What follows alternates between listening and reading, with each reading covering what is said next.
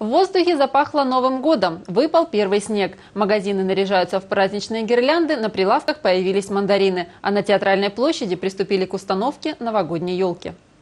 Зимняя красавица, как и в прошлом году, искусственная. Ее высота более 20 метров. Собирать елку будут в течение трех-четырех дней. Ближе к выходным зимнюю красавицу начнут украшать. На ее наряд уйдет более 150 елочных игрушек, а также десятки метров новогодних гирлянд и иллюминаций.